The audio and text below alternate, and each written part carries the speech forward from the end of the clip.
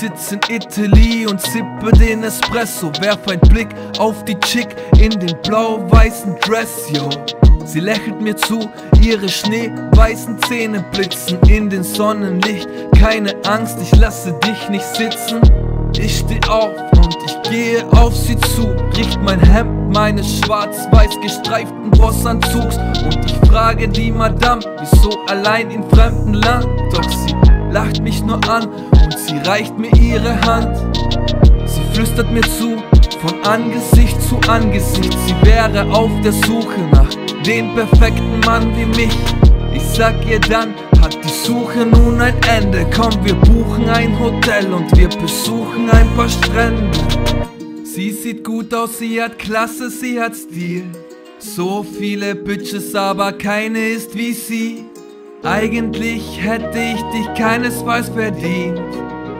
Doch ich habe mich verliebt.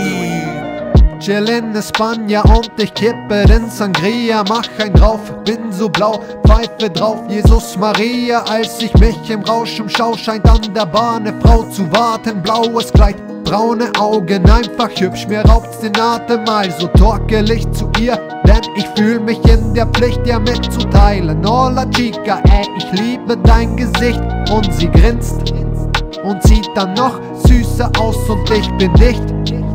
Und mir ist kotzübel, ja, doch ich stehe meinen Mann vor ihr, doch wird er immer schiefer, ich sag ihr, komm mit zu mir, ich zeig dir meinen Turm von Pisa, im Flirten war ich immer schon ein echt krasser Dude und es scheint sich zu bestätigen, denn sie sagt na du. Als ich am nächsten Tag erwache, frag ich mich, was ist passiert? Roll im Bett zur Seite, hey, wer hat den Engel da platziert? Mach große Pläne für den Tag, denn ich will es nicht verbocken, auch wenn mein Kopf dröhnt, ich weiß, ich bin in sie verschossen.